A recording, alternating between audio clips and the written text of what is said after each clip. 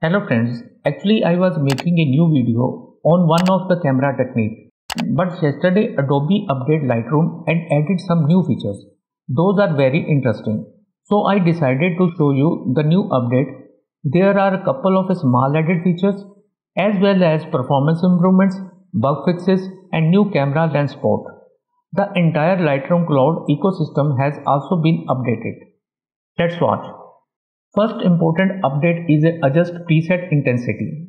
So you can easily adjust preset intensity in Photos Now.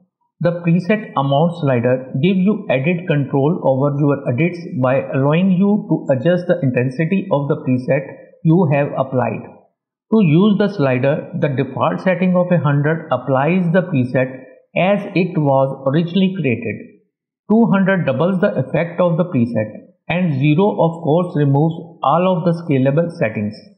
Open a photo to edit in the develop module. From the preset panel on the left, open a preset category and apply a preset.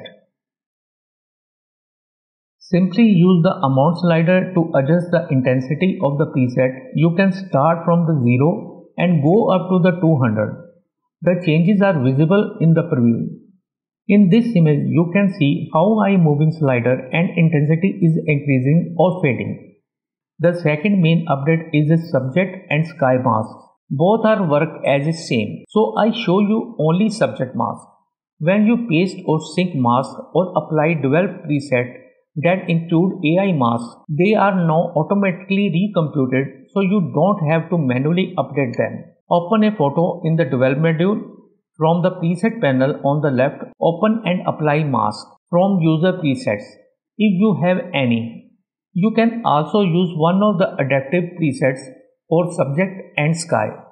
You can see here subject has both adaptive subject and sky presets. I am selecting adaptive subject. As I select one of the preset, Lightroom processing for a subject selection. Now subject mask was created and you can apply any of the preset and it will affect on the subject only background will not be affected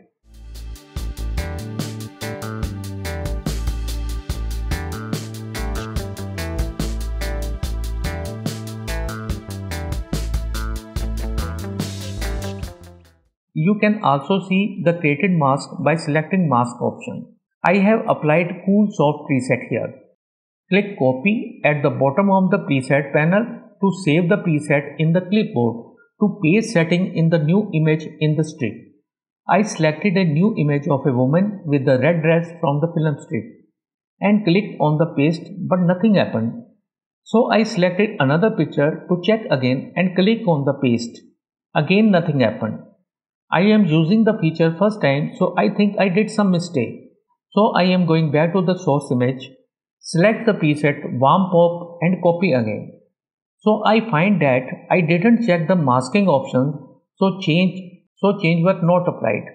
So I check the masking option and click copy. So every time you will copy the setting ensure that masking options are checked or not. Let's see it will work or not.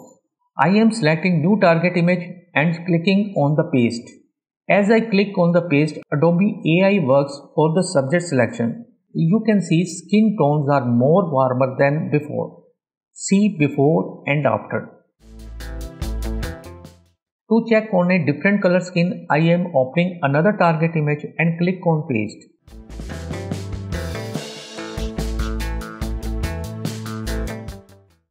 See before and after. It is a not necessary that changes will be according to your requirements because you have applied the same tones to the different types of the skin. This feature is a work better for the same batch of the images where you shoot bundle of the images on the same location for the same person. As you go to the masking option, you can see that selection mask with the preset warm pop.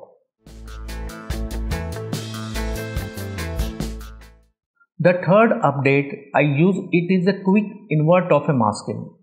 In previous releases, if you mask use more than one selection, you had to jump through hoops to invert it. No more. If you right click on the mask, there are two new options. Invert mask.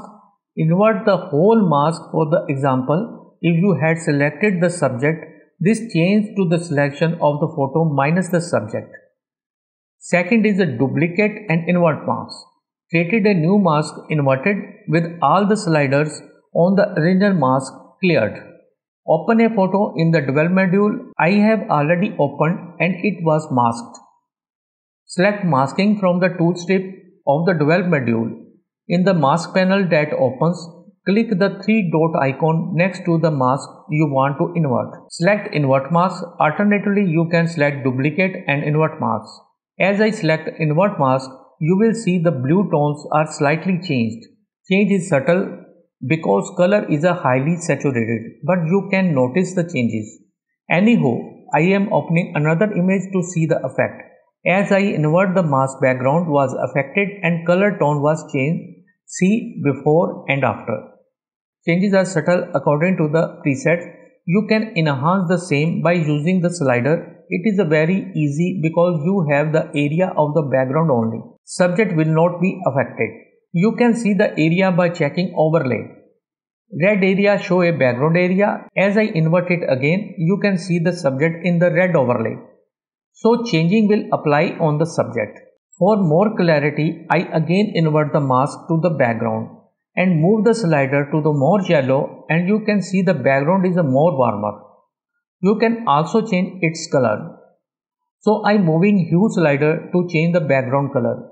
It is a very handy feature. Lightroom added lots of new updates. I checked only 3 updates. As I will check more, I will update you. That's all for the today. Soon I will come with the new tutorial. Thanks for watching.